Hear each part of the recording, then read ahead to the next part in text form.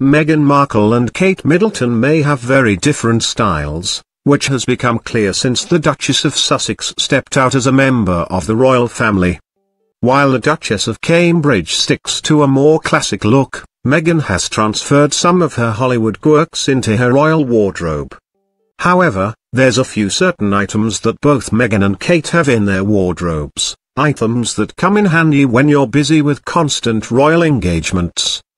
From the classic roll neck to must-have footwear, take a look. Top stories The secret royal hack Meghan Markle and Kate Middleton share to make their legs look longer The real story behind Meghan Markle's oversized jacket is adorable Why Meghan Markle's green necklace holds so much importance to the Duchess of Sussex The simple white dress A white dress is a perfect item for any duchess to have hung up in her wardrobe for summer occasions.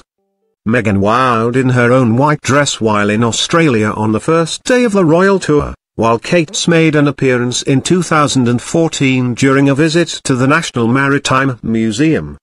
The pair both favor a pair of Manolo Blahnik stilettos, be it a simple navy pair or nude. Essential heels Something Kate and Meghan have in common is a love for simple heels. Most popular Katie Price reveals the truth behind what ended her marriage to Peter Andre Meghan Markle cradles blossoming baby bump at the British Fashion Awards Lisa Armstrong is gutted after being dropped from Britain's Got Talent a black roll neck especially in winter. Meghan has been known to pair one with flare trousers or a leather skirt, while the Duchess of Cambridge will pop one under a blazer for royal engagements.